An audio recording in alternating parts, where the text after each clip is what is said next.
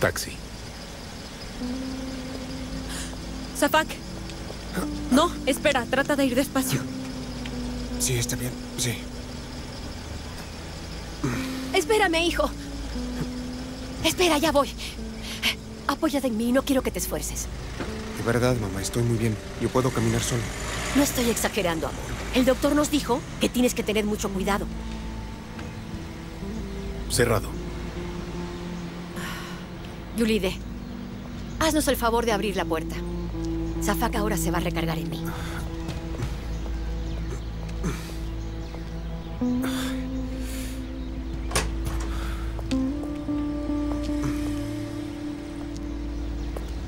Emirhan.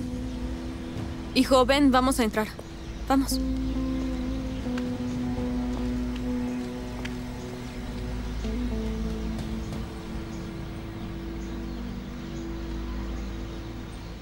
Es obvio que no tengo de qué preocuparme. Por lo que veo, no vienen con la policía. Creo que al final Yulide entendió que no estoy jugando. Seguramente convenció al profesor. Bien hecho, Yulide. Parece que ya aprendió que tiene que cuidarse. De todas formas, creo que sería mejor si me voy por unos días.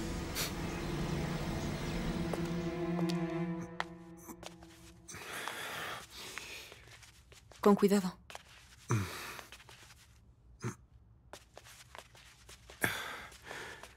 Hijo, ¿por qué lo haces?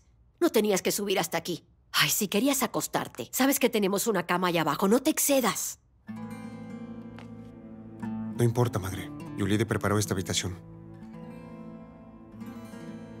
Despacio.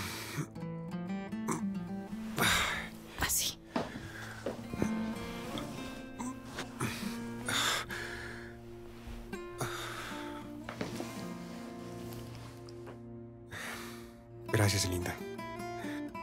Ya extrañaba mi casa. Eso es normal. Toda la gente en el hospital tiende a extrañar mucho estar en sus casas. La verdad, no le deseo esto a nadie. Solo espero que jamás pasemos por algo así otra vez. En serio, hijo, no sé cómo nos pudo pasar. Ay, ¿por qué le pusiste esta almohada así? Levántate. Vamos a ponerte esta mejor. Madre, estoy bien, cálmate. ¿Por qué no se sientan? Seguramente están algo cansadas. ¿Cómo podríamos cansarnos, Afak? Incluso si lo estamos, ¿qué importa? Lo importante es que estás a salvo en casa otra vez. Y eso es lo único que debe importarnos en este momento porque somos muy afortunados. Esto pudo ser peor. Yulide, ¿podrías darme un vaso con agua? Claro que sí, mi amor. Ya regreso y también si estás hambriento podré traerte un poco de sopa. No, no es necesario. Así estoy bien. Tengo sed. Está bien, enseguida la traigo.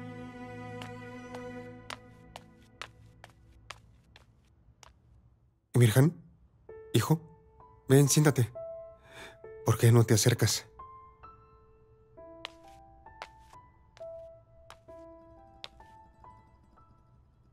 Mira, ya por fin estamos en casa.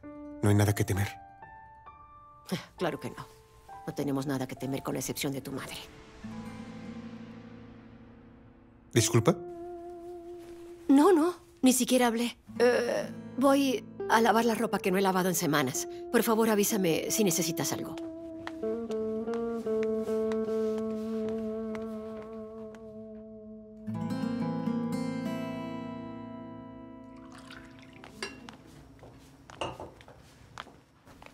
¿Qué estás tramando, Yulide? ¿Perdón?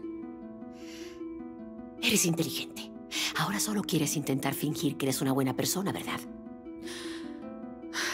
Liman, yo solo intento... Tú solo estás tratando de cubrir y hacernos olvidar todo lo que nos has hecho. ¿Crees que si lo procuras, simplemente vamos a olvidar cómo nos traicionaste? Pero yo jamás voy a olvidar la clase de mujer que eres. No dije nada cuando estábamos con Safak por su estado. Pero no creas que las cosas simplemente cambiaron entre nosotras. Si no te digo nada es solo porque no quiero afectar a mi hijo mientras está convaleciente. Pero no hice nada malo, solo lo hice para salvar a Silencio, ya basta. Quiero que dejes de pensar que es lo mejor para mi Safak. Ya no quiero verte caminando por mi casa. Así que mejor busca un lugar para esconderte. Yo voy a cuidar a mi hijo como alguien que lo quiere. Emirhan, te está llamando tu madre.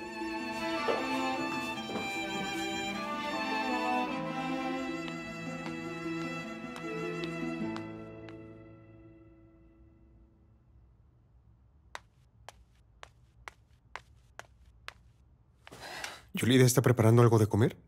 Claro que no. Solamente está cambiando la ropa de cama de Emirhan. Toma tu agua. Oh, así se hace, hijo.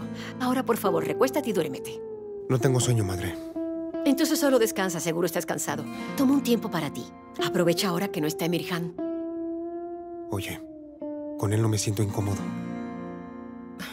Ah, no te pongas así, hijo. Solamente era un decir. Eh, duerme o descansa un poco, ya te voy a dejar solo. Tienes que recuperarte.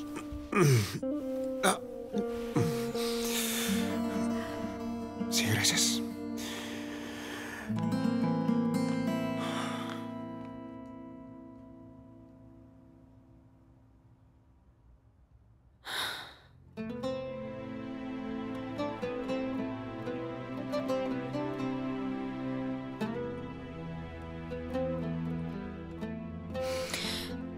Emirhan. Hijo, siéntate conmigo. Ven. Ya.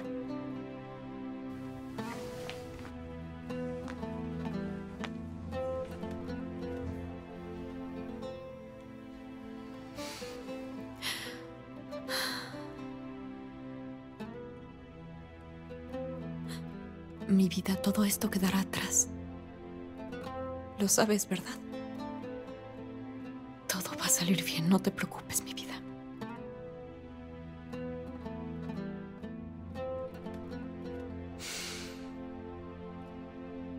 Tu papá va a mejorar, te lo aseguro.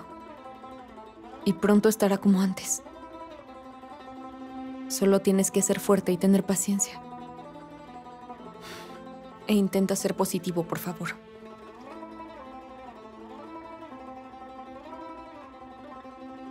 Y pronto vas a regresar de la escuela y nos contarás cómo estuvo tu día. Y pronto todo va a volver a la normalidad. ¿Mm?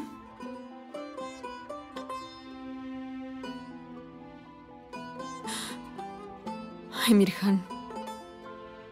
Escucha, por favor, tienes que decirme algo, lo que sea, hijo.